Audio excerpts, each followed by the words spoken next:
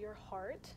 So I'm going to inspect. I'm going to see that you um, do not have any um, heaves or any of those lifts. Okay, okay so I'm going to place here. Okay.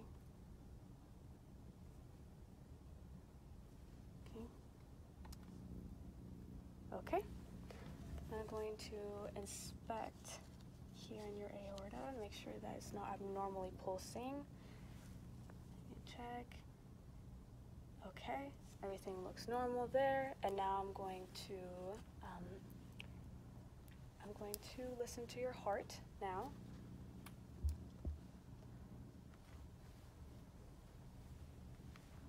All right. Now this is our aortic, pulmonic, nice. Your Erb's point.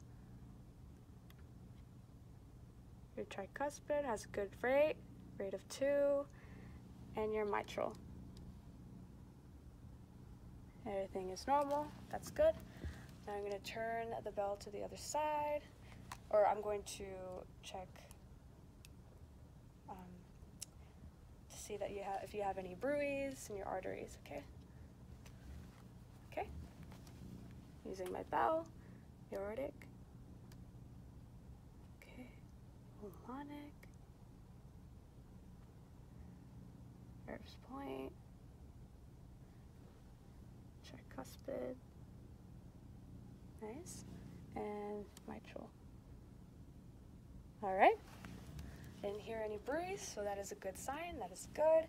Now we're done with um, cardiovascular. So we're done assessing. And appears to be stated age. I'm going to start by feeling your carotid.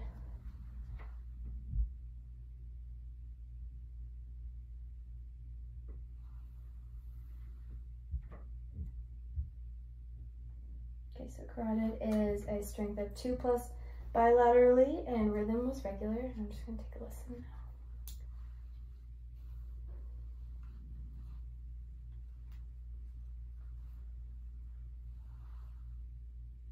Can you hold your breath for me? And breathe. And hold your breath.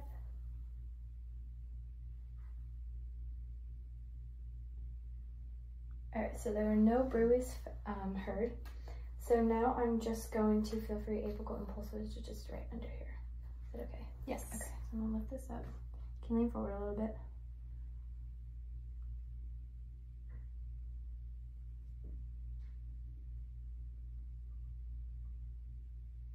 All right, so apical impulse is in the, on the left side, midclavicular fifth intercostal space. So I'm going to take a listen to your valve sounds.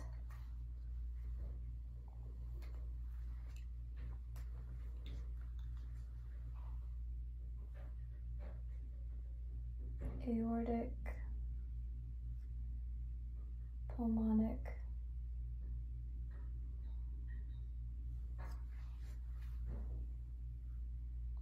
tricuspid, and mitral. All right, so S1 and S2 were heard, and rhythm was regular. So I'm take a listen again.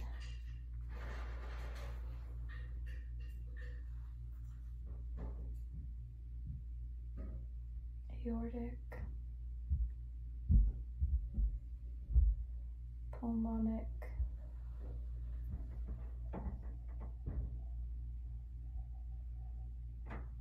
tricuspid, and mitral. So S3 and S4 were not present and there were no So the first thing I'm going to do is I'm going to evaluate the patient, um, looking for symmetry and looking at color. I want to make sure everything is um, a nice normal pink fleshy color and not a bluish color. So I'm going to be looking at the nails first and I don't see any signs of yellowing, any signs of cyanosis where they would be blue. There isn't any swelling and it's the same on both sides. If it were a cardiac um, anomaly, it would be some sort of it would probably not be bilateral. Um, and then I'm going to do a pinch test to ensure good perfusion. And then I'm also going to look at the face and the lips and things like that for signs of cyanosis. And then I'm going to look to the chest for signs of abnormalities. So when I'm looking at the chest, he has some hair on his chest, but that's typical with males. Um, and then I'm going to look at um, his jugular vein. So I'm going to measure his jugular vein. He's not quite at 45 degrees, but I couldn't get the table to 45 degrees. He should be at 45 degrees. I'm going to put this in his sternal notch. And then I'm going to put this where I see the top of his jugular vein. And I'm going to measure, and it should be under two millimeters. And it is, it's about one and a half. So that's good. Um, the next thing I am going to do is I'm going to locate the apex of the heart, which is um, the apical impulse. So I'm looking for the beat, which I see um, probably about right here. Um, here. So then I'm going to feel for the point of maximum impulse. Yep. He's alive. And then I'm also going to look to the abdomen um, to make sure I don't see any extra heartbeats down there, which could be a sign of like an aortic aneurysm. So I looked, and now I'm going to palpate.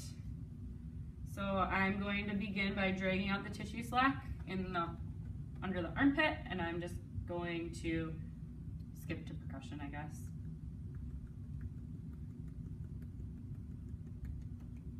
That's where it changes.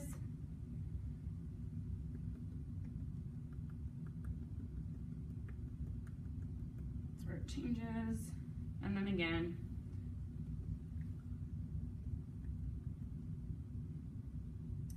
And that was good.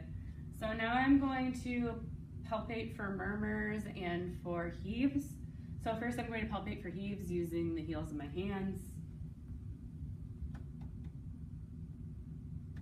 On the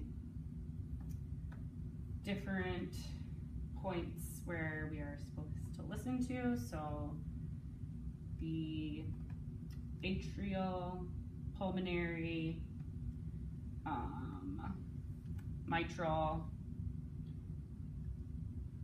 and the tricuspid. And then I'm also going to, like I said before, feel for murmurs fingertips, fingertips, fingertips, fingertips. Um, one thing we're gonna say is when I was percussing, I was percussing the third, fourth, and fifth intercostal spaces. So now I've done my palpation, my percussion, and my observation. So I'm going to move into auscultation. I'm going to be placing this on your chest um, and evaluating the same areas as before, but adding Erb's point. So going atrial, pulmonic, Erb's point, tricuspid, and mitral. Beginning with the diaphragm. Every time.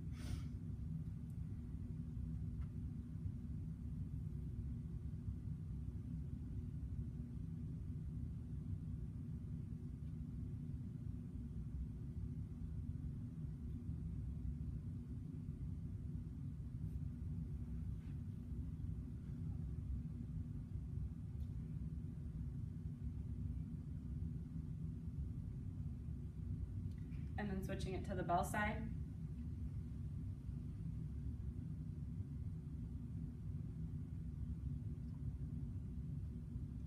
Your tummy gurgle. Yeah.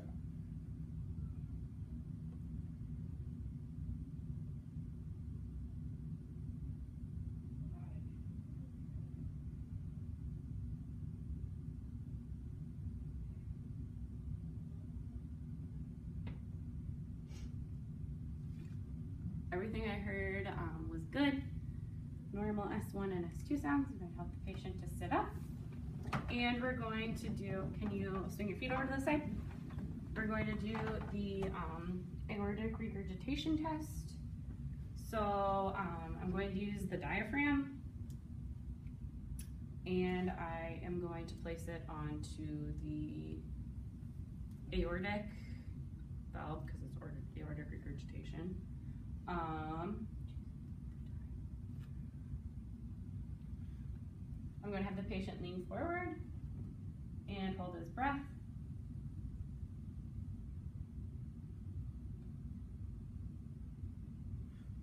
And nothing there. And I'm going to have you actually lay back down, I'm sorry, on your left side. Left side. Left side down, yep. And I'm going to evaluate the mitral valve for um, any sort of mitral deficiencies using the bell.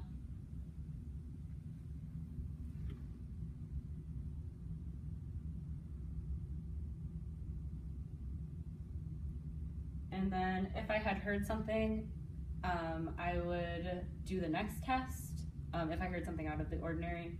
So the next test is I have the patient do a Valsalva maneuver. So can you act like you're blowing up a balloon for me?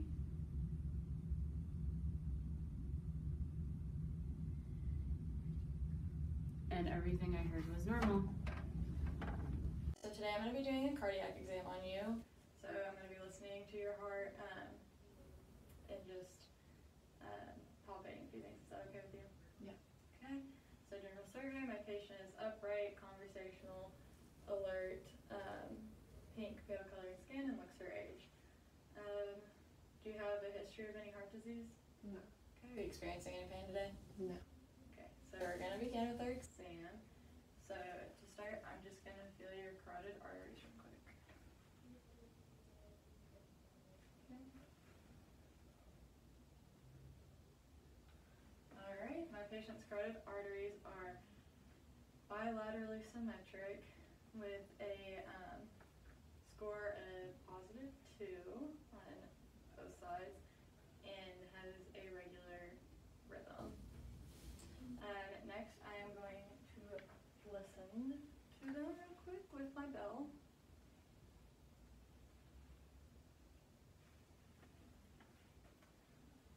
And if you don't care to hold your breath while I do this, um, I'll just tell you when you can breathe, okay?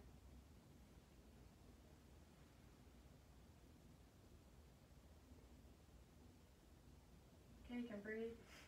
Alright, and then hold your breath for me. Okay. Um, no bruits were heard in the carotid artery. Um, I'm gonna feel for your apical impulse, okay? Um, it is going to be at your fifth intercostal space, left mid clavicular. Okay. So I'm gonna lift your bra up a little And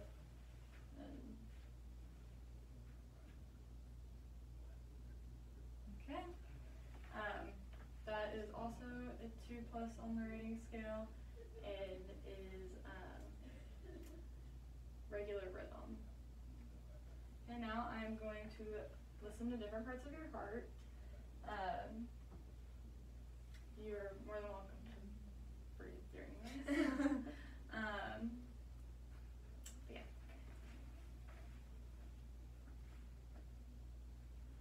Alright, I'm gonna do your aortic, pulmonic, and then um, tricuspid, and then, sorry, mitral.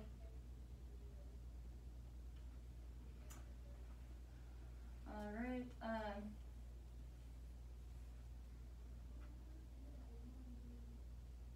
I can't remember what I'm supposed to say for that one. Oh, I do remember. Okay, so S1 and S2 are present. Um, and um, they're, that's all I can do. Okay. Now I'm going to do the same exact thing with my bell, okay? Um, I'm going to be listening for any S3 or S4 and any markers.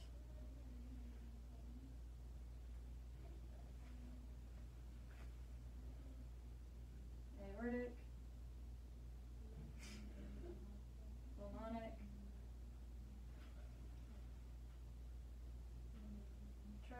And then mitral. Okay, there is no S3 or S4 present, as long, or as well as no murmurs. Okay, so last thing I'm gonna do is um, listen to your apical pulse again. Um, well, listen to it this time so I feel it, and I'm gonna count your pulse. Okay.